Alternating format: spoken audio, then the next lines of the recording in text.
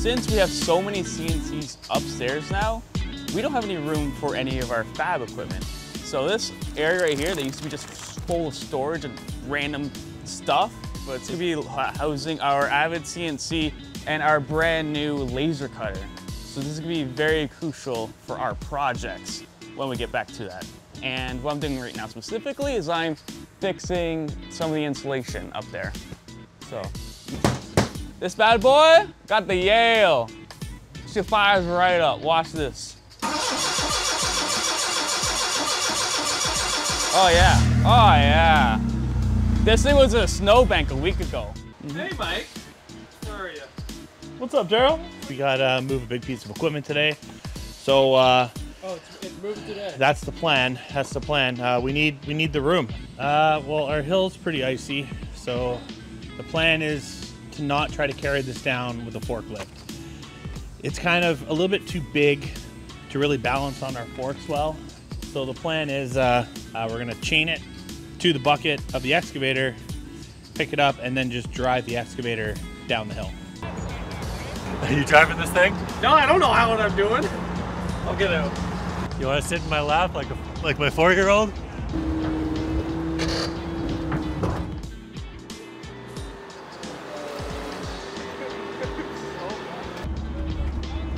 Um, what do you think of that?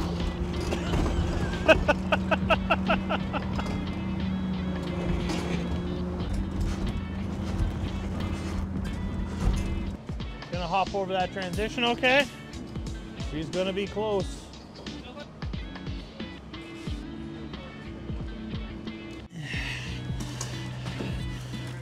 This is how they built the pyramids, right, Ian? Yeah.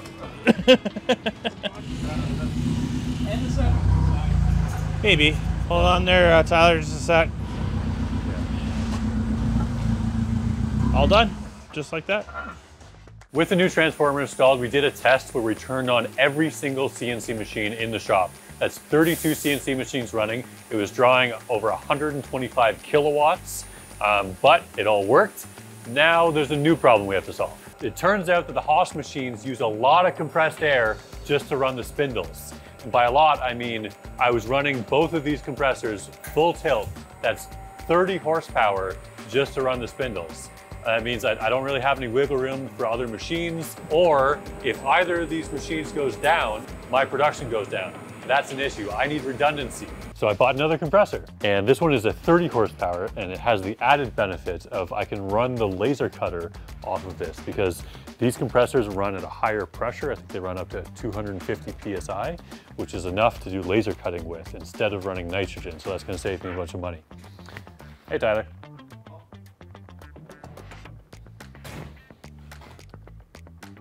Let's talk about the laser. All right, the laser. Um, funny enough, we uh, so we got this laser cutter from BeScutter. We didn't pay for it. They provided it to us for exposure in our videos. Um, we made this deal back before we sold the last laser cutter, but we didn't have a space to put it. So they've been holding, we've had, we, we could have gotten this machine a lot earlier, but we didn't have anywhere to put it. We finally have a space for it. I'm so glad that it's finally showed up. We're very excited to start using it. Um, it is going to be much nicer than our last laser, laser cutter as well, for a couple of reasons. First off, it's going to be twice the power. There is currently a three kilowatt laser source in it right now, but we're gonna get that upgraded to six kilowatts, so we'll get nicer cuts and we'll be able to do thicker material. Um, second, we'll be able to run it off of the compressor. Um, again, these compressors I did buy from BeScutter, um, but this one was free. Uh, so yeah, I'll be able to run it off of the compressor instead of with nitrogen. And then it's just a bit more user friendly. So instead of taking your material and this like super heavy steel plates and lifting it into the machine, you just pull out a drawer and then you put your material on with your forklift or whatever, and then you slide the drawer in. So that's gonna be a lot nicer. And then the ventilation is a lot nicer because it's all just kind of contained a lot better. Um, and then it's smaller, so it can fit in, in better spaces. We never really used the full size of the last laser, laser cutter. Um, like I think it was four, up to four by eight sheets, and we never put the full, or never used the full size. Um, so this one's a bit better suited for us. Any questions? Any questions, Tyler? Tyler's the one that actually has to use it all the time, so I think he's excited. I'm And- very excited. All right, so a lot's been going on since the last vlog update, so let me catch you guys up to speed. Currently, I'm working on our engineering resource planning flow. Um, my software has been working great, and it's given us some awesome data to be able to actually track down all the little issues we're having. But today, I want to talk about an issue that we had at the start of the production, and I actually solved almost two months ago now. But we got busy filming other stuff and never ended up sharing what that solution was. So, to catch you up on that, the spring that holds the bits in is currently being spot welded to the back of this titanium, which we found is a good, super strong solution um, to make two parts into one.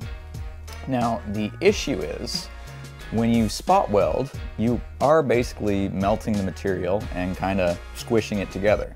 So if you look real close, you can kind of see what the spot welds look like. Now, since this is on the inside of the knife, aesthetically it doesn't matter that much because you're never going to see them. But the problem is, if you look at the spot weld from the side, sometimes the molten titanium sticks up a little bit.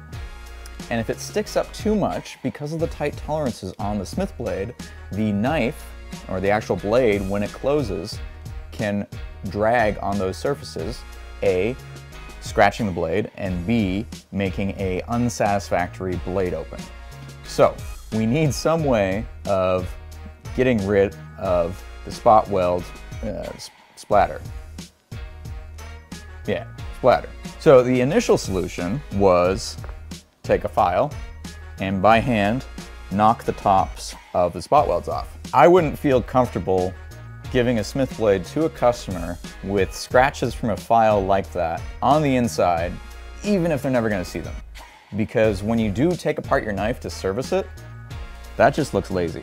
So we needed a better solution. So how do we do that?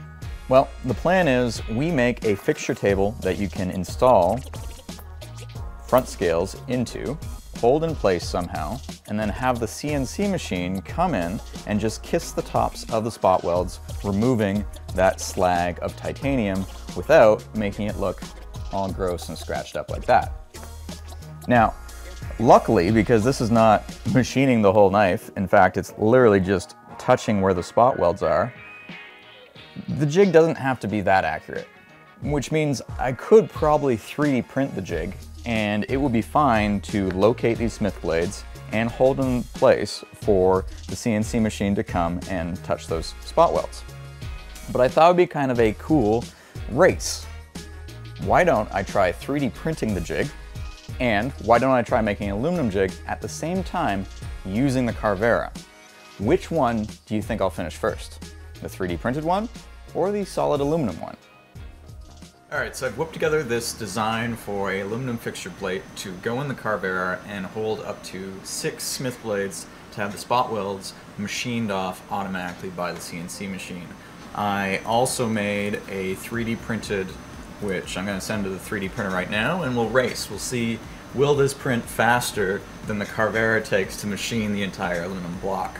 So now I'm gonna pop open my Caracam. So now I'm just gonna import the 3D model right here. So we're gonna make sure it's at zero. Just gonna do a 3D pocket, and we're gonna start with this guy. And we're actually gonna use the quarter inch tool. And we can we can really push this because it's actually a high feed high feed tool. Alright, so using three tools I can machine this entire block. We've got op one, op two, op three, op four, and then the tapping. Re-enable all those. Hit export. Hey, that looks good. Upload the G code. Just gotta hit run. I'm gonna use the ETS to confirm the height of the probe. Alright, so now we're touching off the surface to get our Z0. Boop. It's gonna move back there and ask me for my tool. Which I'm using a high feed five flute pin mill. Now let's uh, see it hog some aluminum. We've received a couple of emails from people being like, I bought this a couple days ago, like, when is it coming? And we are like, turns out there's a bunch of scam websites trying to pretend to sell the Smith Blade. Just so you guys know, we are the only ones selling the Smith Blade. If it's not from us, it's not real. It's a scam. Was it you, Logan? Did you did you get scammed? No. All right, I think the Carvera 1 we got about we got another 56 minutes on the 3D print. Um, let me clean this up, see if it's good. See if those threads worked. And they do indeed. All right.